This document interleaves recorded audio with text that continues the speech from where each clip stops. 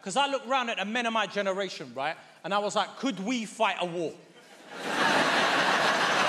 could the men of this generation fight a war, right? And I came to the conclusion, no, we are done for. We're finished, bruv, right? no, we can't fight a war, brother. You mad? They will take half of us out with gluten.